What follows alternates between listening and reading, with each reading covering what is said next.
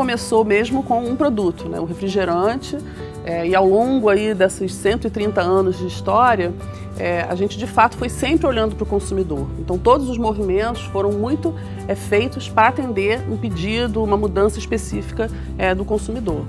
E as nossas inovações elas aconteceram é, em três grandes dimensões. Eu acho que a primeira delas é no sentido de trazer novos ingredientes, é, trabalhar é, um perfil nutricional, adicionar vitaminas ou a própria redução do açúcar. Então, mudanças na receita dos produtos. A segunda dimensão é relacionada às próprias, os próprios tipos de bebidas, as categorias de bebidas. Então, daí a gente expandiu né, de uma empresa que tinha uma atuação muito centrada em refrigerantes para hoje estar tá presente em muitas outras categorias. E por fim, a forma como esse produto chega até os consumidores, que são as embalagens. Então a tecnologia, de novo, vai avançando e a gente foi trazendo essas novidades para o consumidor.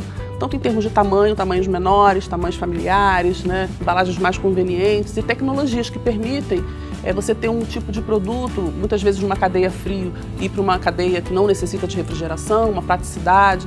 Então, é, com isso, a gente é, vem trabalhando essas inovações, nessas três dimensões a gente vem inovando aí nos últimos 130 anos de história.